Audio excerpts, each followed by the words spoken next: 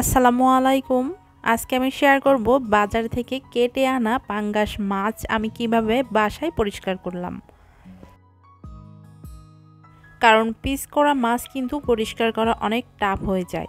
তো আমি কীভাবে খুব সহজে পরিষ্কার করেছি সেটাই শেয়ার করব। আশা করব আপনাদের কাছে ভালো লাগবে। পাঙ্গাস মাছটা কিন্তু অনেকেই খেতে পছন্দ করে না। আবার এটা যদি গায়ে একটু কালো কালো থাকে তাহলে কিন্তু রান্না করতে গেলেও কেমন একটা লাগে। পরিষ্কার থাকলে কিন্তু দেখতেও ভালো লাগে, সাথে খেতেও ভালো লাগে।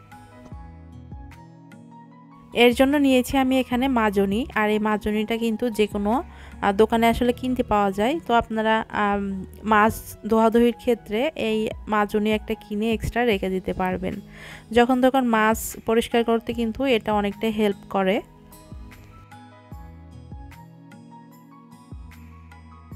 তো আমি প্রথমে মাছের একদম শেষের অংশটা নিয়েছি লেসটা তো লেসটা আমি এভাবে করে ক্লিন করে নিচ্ছি হাতে ধরে আস্তে আস্তে করে। আর দেখেন এটা কিন্তু ঘষা দেয়া মাত্র এটা পরিষ্কার হয়ে যাবে।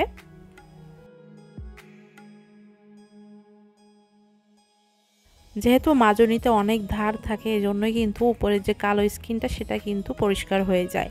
তো এভাবে করে আমি মাছের সবগুলা পিস আস্তে ধীরে পরিষ্কার করে নিব।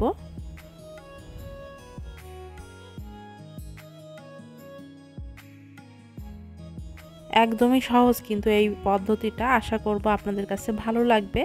আর আজকের আমার এই মাছ পরিষ্কার করার টিপসটা আপনাদের কাছে ভালো লাগলে ভিডিওতে লাইক করবেন আর ফ্রেন্ডস অ্যান্ড ফ্যামিলির সাথে শেয়ার করবেন।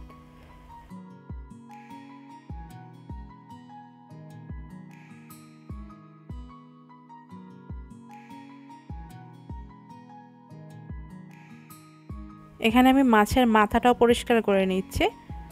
মাছের মাথা আর মাছের পিঠের সাইডে কিন্তু কালো থাকে বেশি।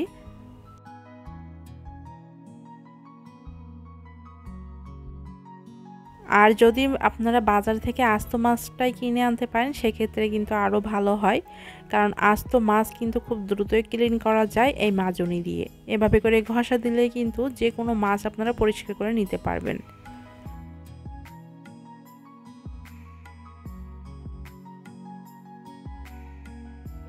সবগুলা মাছ আমি ভালোভাবে ডোলে তারপরে কিন্তু ক্লিন করে নিয়েছি, এই যে দেখেন।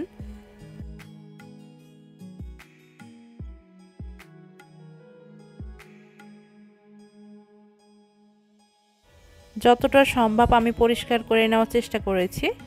আর এভাবে করে মাছ পরিষ্কার আমার কাছে অনেকটা সহজ মনে হয়, এজন্য আপনাদের সাথেও শেয়ার করলাম।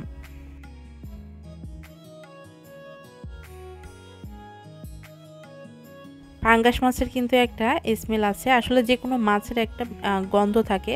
তো সে আষ্টে গন্ধটা দূর করার জন্য আপনারা লেবুর রস আর লবণ দিয়ে ভালোভাবে মাছের গায়ে মাখিয়ে তারপরে কিন্তু তিন চারবার ধুয়ে নিলে মাছের আষ্টে গন্ধটা চলে যাবে। তো এভাবে করে কিন্তু যে কোনো মাছের আষ্টে গন্ধ আপনারা দূর করতে পারবেন। তো আজকের মতো এখানে বিদায় নিচ্ছি। সবাই ভালো থাকবেন। আল্লাহ হাফেজ।